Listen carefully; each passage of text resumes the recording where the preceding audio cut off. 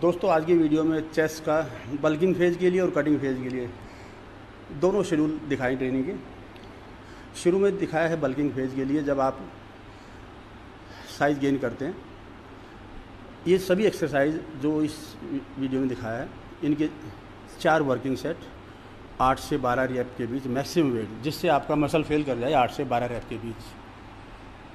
ज़्यादा से ज़्यादा एक दो रैप ऊपर नीचे हो सकता है, इससे ज़्यादा नहीं और डिक्लाइन बेंच और बार डिप्स में से आप कोई एक ही करें काफ़ी है, क्योंकि दोनों ही आपकी लोअर चेस्ट पे इम्पैक्ट ज़्यादा डालते हैं।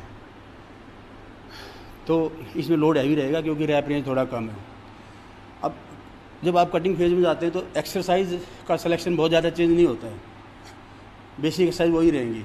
बस ये है कि एक दो हम आइसोलेशन मूवमेंट ज़्यादा ऐड कर देते हैं, जैसे अब ये दिखाया है इसमें कटिंग फ़ेज़ का। इसमें रैप रेंज आपका रहेगा बारह से सोलह रैप वो सत्रह, अठारह भी जा सकता है।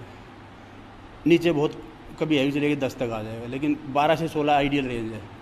अब क्योंकि रैप रेंज बढ़ गई है तो ऑब्वियसली आपका लोड थोड़ा कम हो जाएगा। और लोड कम हो जाएगा तो रेस्ट टाइम भी कट हो जाएगा। क्योंकि जितना हैवी लोड लेंगे, उतना रेस्ट टाइम ज़्यादा हमें चाहिए होता है। तो बल्किंग फ़ेज़ में थोड़ा सा रेस्ट ज़्यादा, यानी दो मिनट के आसपास।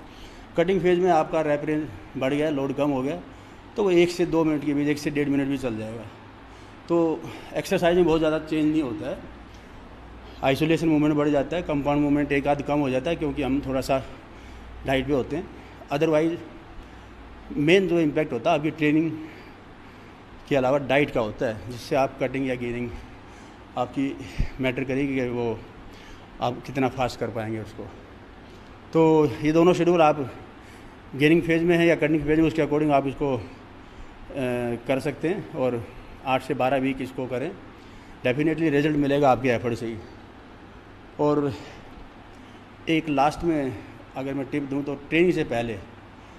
डाइट मैं बार बार बोलता हूँ boiled potato egg white curd और थोड़ा सा कोई फ्रूट ये आइडियल डाइट है। दो से ढाई घंटे पहले आप लें आपको फुल एनर्जी मिलेगी पूरे वर्कआउट में। क्वांटिटी अपने बॉडी वेट के अकॉर्डिंग थैंक यू